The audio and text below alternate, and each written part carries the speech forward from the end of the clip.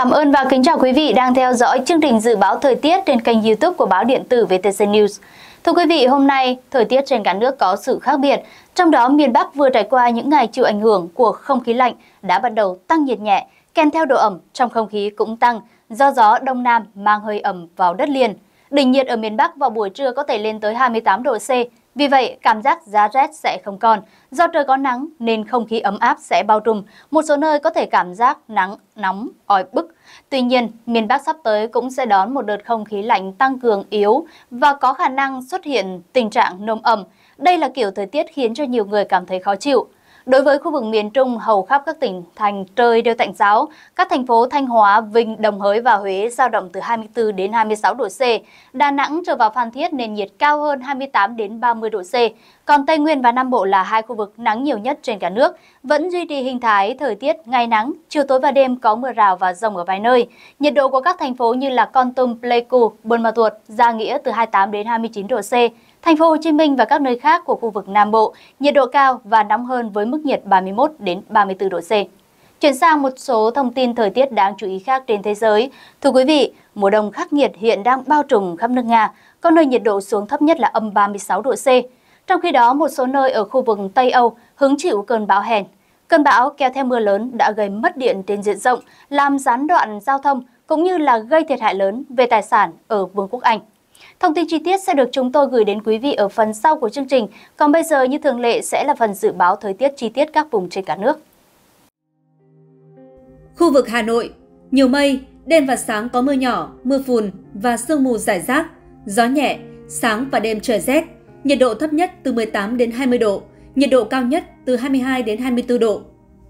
Phía Tây Bắc Bộ, nhiều mây, có mưa rào vài nơi, đêm và sáng có mưa nhỏ, mưa phùn và sương mù rải rác, Riêng khu vực Tây Bắc có mưa nhỏ vài nơi, trưa chiều giảm mây trời nắng, gió nhẹ, đêm và sáng trời rét. Nhiệt độ thấp nhất từ 17 đến 20 độ, có nơi dưới 15 độ, nhiệt độ cao nhất từ 21 đến 24 độ, riêng khu vực Tây Bắc 25 đến 28 độ.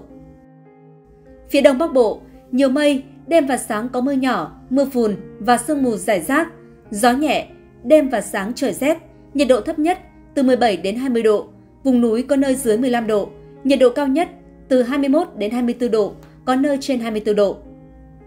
Khu vực từ Thanh Hóa đến Thừa Thiên Huế, nhiều mây, phía Bắc đêm và sáng có mưa nhỏ, mưa phùn và sương mù rải rác, phía Nam có mưa, mưa rào rải rác, gió Bắc đến Tây Bắc cấp 2, cấp 3, phía Bắc đêm và sáng trời lạnh.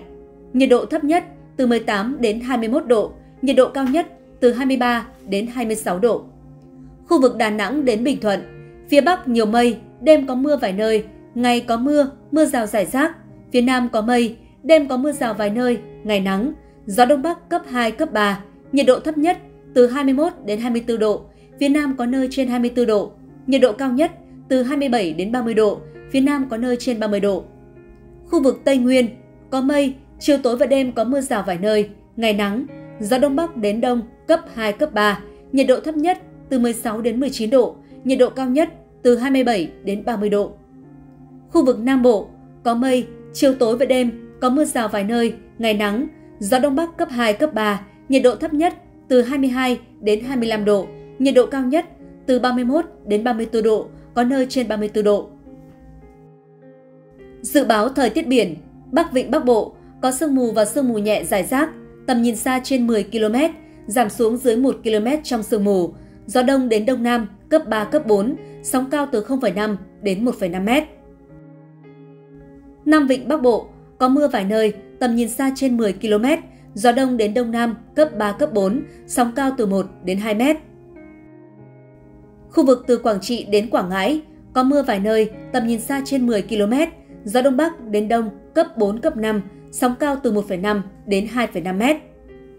Từ Bình Định đến Ninh Thuận có mưa rào vài nơi, tầm nhìn xa trên 10 km, gió đông bắc cấp 4, cấp 5, riêng vùng biển Ninh Thuận có lúc cấp 6, giật cấp 7, 8 biển động, sóng cao từ 2 đến 3 mét. Từ Bình Thuận đến Cà Mau có mưa rào vài nơi, tầm nhìn xa trên 10 km, gió đông bắc cấp 5, có lúc cấp 6, giật cấp 7, 8, biển động, sóng cao từ 2 đến 3,5 mét. Từ Cà Mau đến Kiên Giang có mưa rào và rông vài nơi, tầm nhìn xa trên 10 km, gió đông bắc đến đông cấp 4, sóng cao từ 1,5 đến 2,5 mét. Quần đảo Hoàng Sa không mưa, tầm nhìn xa trên 10 km, gió đông bắc cấp 5, sóng cao từ 1,5 đến 2,5 m. Vịnh Thái Lan có mưa rào và rông vài nơi, tầm nhìn xa trên 10 km, gió đông bắc đến đông cấp 3 cấp 4, sóng cao từ 0,5 đến 1,5 m.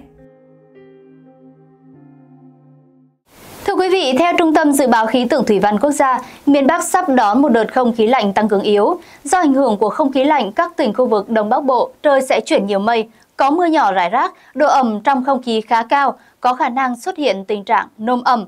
Hơn nữa, theo hệ thống theo dõi chất lượng không khí EQE, vừa qua cho biết Hà Nội và thành phố Hồ Chí Minh cùng nằm trong nhóm 10 thành phố có mức độ ô nhiễm không khí cao. Bầu trời của cả hai thành phố chìm trong bầu không khí màu trắng đục như sương mù, đến gần trưa mới tàn.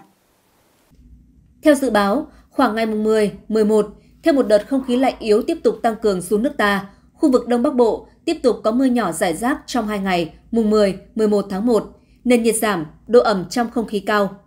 Tại Hà Nội và nhiều nơi ở Đông Bằng Bắc Bộ, khu vực Đông Bắc Bộ sẽ chuyển sang hình thái mưa phùn, mưa rào giả dích, trời âm u gần như cả ngày, kèm theo tình trạng nồm ẩm. Đây là kiểu thời tiết khiến nhiều người cảm thấy khó chịu vì nồm ẩm làm ngưng động nước trên mặt sàn nhà, trong bếp, phòng ngủ, thậm chí trên mặt tường nhà. Nguyên nhân do có một đới gió đông của áp cao lạnh, lệch đông đưa lượng hơi ẩm lớn ngoài biển vào đất liền, độ ẩm lớn có thể lên tới 90% nhưng không thoát lên được do sương mù, tầng mây thấp. Nồm ẩm ở miền Bắc thường xảy ra vào khoảng tháng 2 và tháng 3 hàng năm sau Tết Nguyên đán, nhưng một số năm gần đây, hiện tượng này xảy ra trái với quy luật, sớm hơn trước Tết Nguyên đán, chia làm nhiều đợt. Trong khi theo ghi nhận vừa qua, Hà Nội có nồng độ bụi mịn trong không khí là 176 micromet trên mét khối, trên 150 tương ứng màu đỏ, dưới 150 là màu cam và dưới 100 là màu vàng, đứng thứ 6 thế giới về mức độ ô nhiễm không khí. Còn thành phố Hồ Chí Minh là 164 micromet trên mét khối, xếp thứ 10. Trước đó Hà Nội, mức độ ô nhiễm dao động từ 113 đến 156 micromet trên mét khối. Ba ngày tiếp theo sẽ giảm dần từ 123 đến 104 micromet trên mét khối. Thành phố Hồ Chí Minh cũng có tình trạng tương tự nhưng mức độ nhẹ hơn, từ 112 đến 115 micromet trên mét khối, tương đương với màu cam. Các ngày tiếp theo trở về màu cam, nồng độ bụi mịn dưới 100. Theo Tổ chức Y tế Thế giới WHO, mức độ ô nhiễm bụi mịn PM2.5 bình quân trong năm của cả hai thành phố này đều cao hơn gấp đôi so với mức khuyến cáo. Tại Hà Nội, trời nắng nhưng bầu trời trắng đục, mà theo các chuyên gia là do hiện tượng mù khô do ô nhiễm không khí gây ra. Đây cũng là hiện tượng thường xuyên xuất hiện vào đầu mùa khô khi không còn mưa để làm sạch không khí, bụi mịn và hơi nước tạo thành hỗn hợp màu trắng đục. Người dân được khuyến cáo nên theo dõi chất lượng không khí qua các phương tiện thông tin chính thống. Khi thấy chất lượng không khí ở mức xấu, có hại, nên hạn chế vận động tập thể dục ở ngoài trời. Nếu có việc, cần ra đường, nên sử dụng khẩu trang có thể lọc được bụi mịn. Vệ sinh mũi, xúc họng sáng tối bằng nước muối. Mỗi tối trước khi đi ngủ, nên rửa mặt bằng nước muối sinh lý. Hạn chế mở cửa sổ, cửa ra vào thời điểm không khí bị ô nhiễm, đặc biệt các gia đình ở gần đường giao thông, ở khu vực chất lượng không khí xấu. Thưa quý vị, như phần đầu chúng tôi đã thông tin, mùa đông khắc nghiệt mang theo nhiệt độ thấp kỷ lục đã gây ra tình trạng băng giá cực điểm, làm gián đoạn giao thông ở nhiều khu vực của Nga, bao gồm cả thủ đô Moscow và thành phố Saint Petersburg, đồng thời gây khó khăn ở một số vùng nông thôn ở nước Nga. RT đưa tin, vừa qua, nhiệt độ ở Moscow xuống dưới âm 26 độ C, với dự báo mức thấp nhất là âm 31 độ C qua đêm và mức cao nhất là âm 12 độ C. Nhà chức trách đang đặt thủ đô Nga trong tình trạng cảnh báo thời tiết màu cam. Theo RT, nhiệt kế ở Moscow đã xuống mức âm 26 độ C, trong khi dự báo mức thấp nhất là âm 30 độ C và cao nhất là âm 12 độ C. Thủ đô nước Nga đã được đặt trong tình trạng cảnh báo thời tiết xấu. Còn ở Saint Petersburg, nhiệt độ giảm xuống âm 27 độ C, trong khi khu vực phía Bắc của vùng Leningrad chứng kiến đợt lạnh xuống âm 36 độ C. Ở miền trung nước Nga, với các vùng như Vladimir, Ivanovo, Kostroma, Tver và Yaroslav, nhiệt độ dự báo xuống mức âm 35 độ C. Trong khi đó, ở vùng Severodonetsk có thể giảm xuống âm 40 độ C. Cơ quan thời tiết Liên bang Nga cho biết đợt lạnh bất thường sẽ bao phủ tới 70% diện tích nước này trong những ngày tới và không có dấu hiệu suy giảm trước ngày 10 tháng 1. Trước đó, 11 chuyến bay đã bị hoãn hoặc hủy tại sân bay Sheremetyevo của Moscow và 5 chuyến bay tại Vnukovo. Tại các sân bay ở Domomo, Dedovo và Zhukovsky, hoạt động hàng không vẫn diễn ra bình thường. Sương giá cũng gây ra nhiều vấn đề với giao thông đường sắt. 6 chuyến tàu đã bị dừng ở vùng Chelyabinsk ở Uransk. Cũng xuất hiện một số báo cáo về hệ thống sưởi và nhu yếu phẩm đang cạn dần ở vùng này khi các chuyến tàu không thể hoạt động. Cũng theo RT, băng giá cũng khiến một đoàn tàu điện Lastoka bị kẹt ở vùng Vladimir, trên đường từ Moscow đến Nini Novgorod. Khoảng 300 hành khách được báo cáo là bị mắc kẹt trong băng với nhiệt độ âm 30 độ C trong gần 3 giờ. Băng giá cũng khiến nhiều vùng nông thôn ở Nga bị mất điện. Ít nhất 20 khu định cư ở vùng Moscow đã báo cáo tình trạng mất điện do băng giá và nhu cầu sử dụng thiết bị sưởi tăng cao. Cái lạnh khắc nghiệt ở Moscow cũng khiến hiện tượng cầu vồng mùa đông xuất hiện trên bầu trời ở thành phố. Khi hơi nước đóng băng trong thời tiết cực lạnh, ánh sáng khúc xạ khỏi các kim băng tạo nên một hình ảnh ngoạn mục. Thưa quý vị, tại Anh, mưa lớn sau bão Hen đã gây ra lũ lụt trên diện rộng trên cả nước, khiến cho hàng trăm ngôi nhà ngập nước và gây gián đoạn giao thông nghiêm trọng. Trước đó, hàng trăm cảnh báo lũ lụt đã được đưa ra tại Anh trong bối cảnh gió mạnh và mưa lớn trút xuống nhiều khu vực rộng lớn của nước này. Văn phòng Khí tượng Quốc gia vừa qua đưa ra cảnh báo vàng về mưa lớn trên toàn miền Nam xứ England và gần 260 cảnh báo lũ lụt tại vùng này và xứ Wales. Trong những ngày đầu tiên của năm 2024, các khu vực thuộc miền Đông England ghi nhận lượng mưa tương đương lượng mưa trung bình trong cả tháng 1 hàng năm. Nottinghamshire ở miền trung nước Anh là một trong những khu vực chịu ảnh hưởng nặng nề nhất của bão, với mực nước dọc sông Trent có thể lên gần mức kỷ lục từng ghi nhận vào năm 2000. Hội đồng hạt Nottinghamshire cho biết hơn 100 ngôi nhà tại khu vực bị ngập và người dân ở 500 ngôi nhà khác phải sơ tán. Giới chức lo ngại sẽ có thêm nhiều nhà cửa bị ngập. Trong khi đó, thị trấn Tewkesbury ở Gloucestershire thuộc Tây Nam England bị nước lũ cô lập hoàn toàn. Các tuyến đường chính vào thị trấn với hàng trăm ngôi nhà chìm trong biển nước. Mưa lớn đã khiến nhiều tuyến đường sắt phải đóng cửa. Hãng đường sắt quốc gia National Rail thông báo nhiều dịch vụ có thể bị hủy hoặc chậm chuyến. Great Western Railway, công ty cung cấp dịch vụ đường sắt giữa London và Tây Nam vùng England và Nam xứ Wales, khuyến cáo hành khách không nên đi lại do nguy cơ xảy ra mưa lớn. Bão Hen, đổ bộ Vương quốc Anh, gây ra mưa lớn và sức gió lên tới gần 138 km/h. Bão Hen kéo theo mưa lớn cũng khiến hàng trăm hecta cây trồng và đất nông nghiệp chìm trong nước lũ.